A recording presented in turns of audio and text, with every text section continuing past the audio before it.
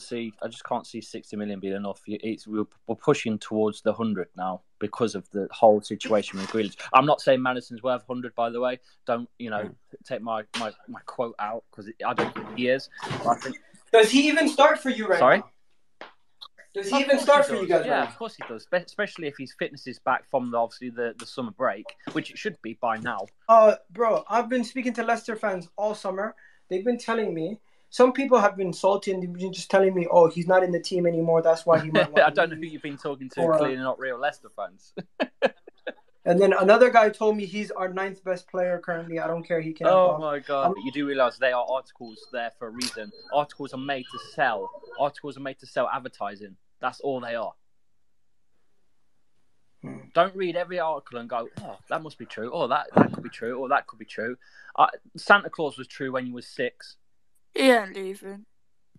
Yeah, and also the Tooth Fairy. I don't really, Yeah, really know sure. where it's all started from with all these accounts going mental It- over it's- Madison. it's all started- It really don't make sense. It's all it's all started because AFC Bell is one of the more reliable Arsenal accounts. He has he's the same guy who said uh, Thomas Partey was going to happen, even though everybody said it's not possible for it to happen on the final day of the window.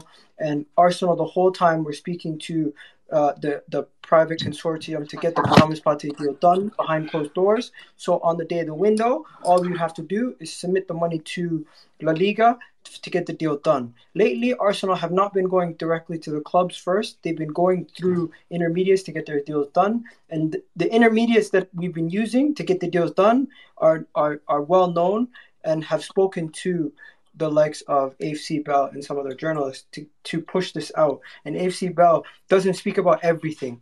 This is how you know he's reliable. He only speaks about things he knows about that he has directly had sources from.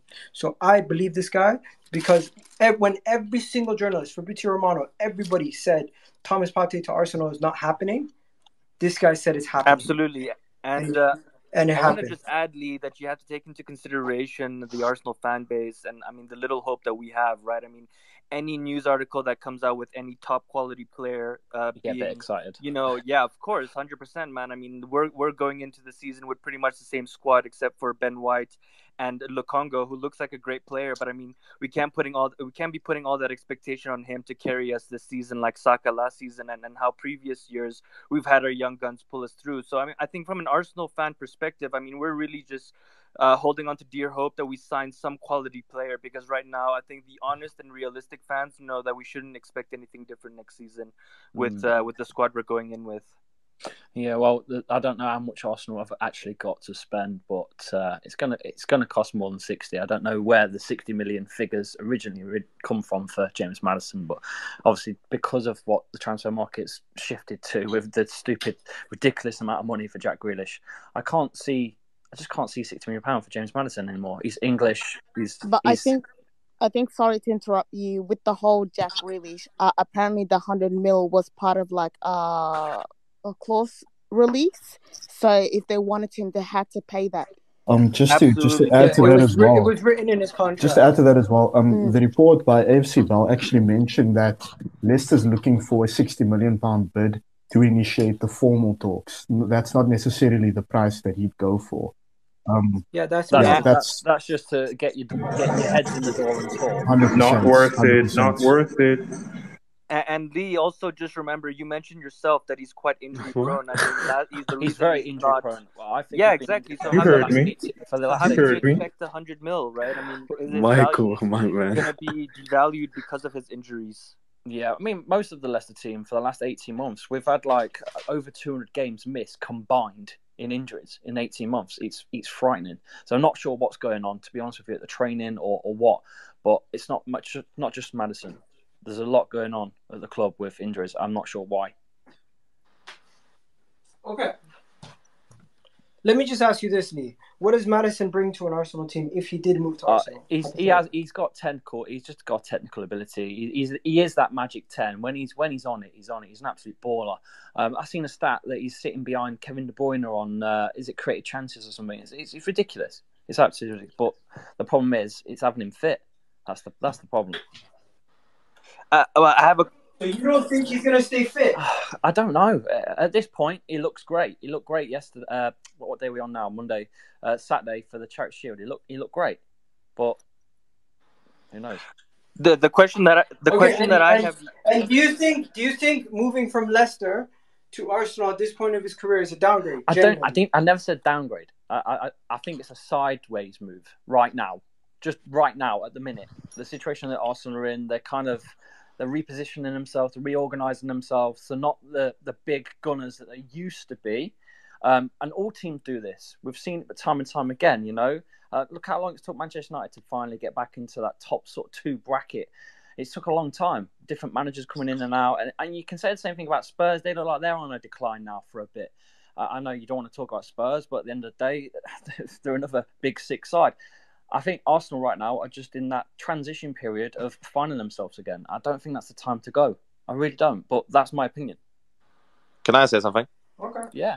go ahead. I can't see him leave this season because we have Europe League football and Arsenal haven't. Mm. But maybe next if you uh, Yeah. get the top six position. Yeah.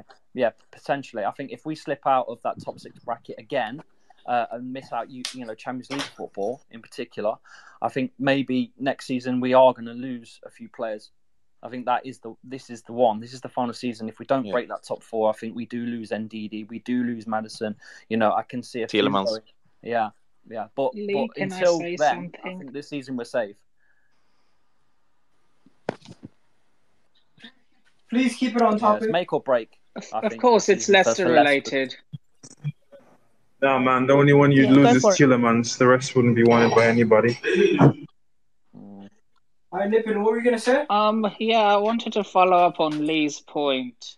Um, but yeah, um, I don't see. I don't want to sound horrible, but I don't see you keeping your top players if you don't break into the Champions League Mm, position at the end of this season. Exactly. Yeah, but majority of them have are, are under contract for a long time period, so we're not we're not worried. Uh, If you're talking about Saka and Smith Rowe and these kind of guys, there's they just recently signed five. year I was deals. talking about uh, Leicester, not Arsenal. I'm just I'm just always on the defense, you know. Cool. Yeah, I yeah, yeah, wanna- yeah. Um, I have a question, if, if I may go. If I may go, I, I wanted to ask Lee in terms and keeping on the topic of of James Maddison uh, from a Leicester perspective. I mean, you know, what is his role in terms of big games? I mean, a lot of Arsenal fans have seen Mesut Ozil and seen how he disappears in, in away games or against the bigger teams. I want to know that if we're spending sixty million on on matters, like what does he bring in, in terms of big games, small games? I mean, is he is he going to be in games just you know kind of coasting? Or is he going to be involved to getting into tackles and really I, I guess creativity is going to be where he's, he's bringing that's everything it. The, the, the key for, for Matters is when sitting behind those those uh, up, up front line and unlocking them. I think he unlocks Jamie Vardy and uh, Patson Daka's got some pace about him. We, we're yet to see him obviously in the Premier League yet, but when we do see him, I think we're going to see something special with this Patson Daka uh, that we've signed. Um, but I think James Maddison's a different player to like how we mentioned Grealish. I think that although they get kind of compared, I think they're completely different players. Um, James Maddison isn't one go down the wings and and you know sort of dash and, and pace about. He's more of a creative passer and, and more fluid on the ball. I think. Um, I think you're going to get a, a magic ten if, if you did get him. He's that he's, he is that good, but like I said before, you've got to keep him fit. But I think that your manager has like a record of like most of your important players getting like long term serious injuries. It just isn't with just Mm. It's been like something that has like recently or even the past two seasons, like your most important players are there has to be something not wrong, but there has to be something they generally need to look at um either Yeah. from their um physio team or Uh, the yeah, fitness yeah. because one time like okay, I can see it, but it's more than one or It two players. It's, it's getting a bit silly. Um, Mm. but the the most recent ones have been a bit obviously unlucky. The international tournament, Castagne broke his face. Um, you know, and we've just had a pre-season friendly. I'm sure you've all seen the Fofana tackles, outrageous. Um, you know, some of those you can't hold the manager and the training, uh, you know, that they, that they do accountable for. They're just freak accidents and unlucky at the end of the day.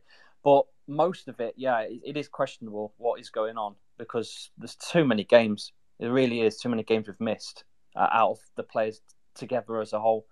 Um, with with injuries, it's ridiculous.